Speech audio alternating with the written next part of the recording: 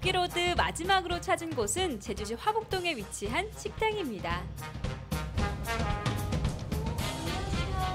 충성! 어머 어머. 이건 뭐죠? 충성! 문장입니다. 충성! 대단장입니다. 충성! 중대장입니다. 충성 주방 천만입니다. 군고기로 대장 아주 유명한. 이곳 네. 두툼한 고기가 맞이해 주는데요. 근데 군고기가 어떤 부위인가요? 한 근입니다. 고기 목살 400g에 특수비 200g에서 한 근, 600g. 여기서 근고기입니다. 목살 400g, 오겹 200g, 항정 200g, 갈매기 200g. 군고기의 고기들은 두툼한 것이 특징인데요. 언제 다 구워지나 걱정했다면 걱정하지 마세요. 두툼한 돼지고기들은 일단 감귤나무로 초벌구이. 향긋한 감귤나무의 향이 고기에 옅게 배인답니다. 가장 설레면서도 고통스러운 시간, 바로 고기 익기를 기다리는 시간이죠. 이제나 저제나 기다리다 보니 문득 외로움이 밀려오더라고요. 아, 누구 나랑 같이 고기 먹은 사람 없을까? 저야 저야. 음식로드를 시작하던 그날부터 늘 함께하기를 요청했던 바로 그 사람. 와. 고기 오너라.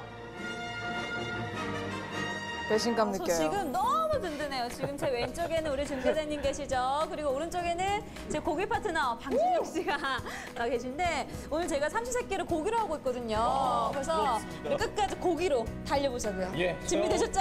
제가 이거 먹으려고 얼마나 길은지 몰라요. 3주에 왜 이제 저를 불렀는지 아, 모르겠습니다. 고기라서 특별히 불렀어요, 준혁 씨를. 고마워요. 네. 요 여기 소금에다 이제 살짝 찝어서 맛보면 되는 거죠. 고기만 드셔보세요. 가장 Cheers. 정확하고 담백한 맛.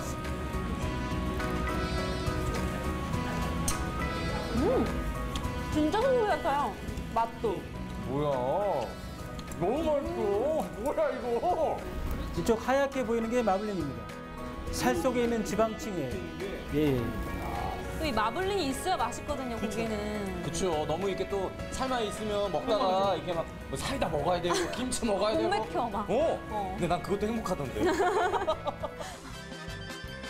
감귤나무 향이 은은하게 배인 돼지고기들은 테이블로 와서 다시 한번 구워지는데요. 육즙 가득 최상의 돼지고기를 선보이기 위해 이곳에서는 스태프들이 직접 고기를 구워준답니다. 제가 혼자 먹기 외로워서 방준혁 씨를 불렀는데 얼마나 맛있었으면 말없이 그저 열심히 먹기만 하더라고요.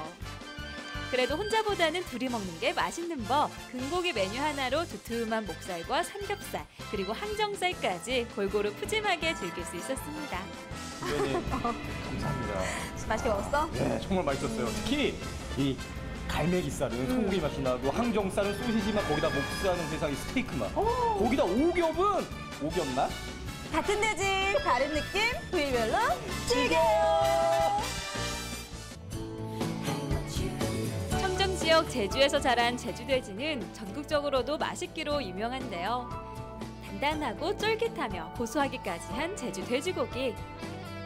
특수 부위부터 자투리 고기까지 취향 따라 입맛 따라 마음껏 즐겨보세요.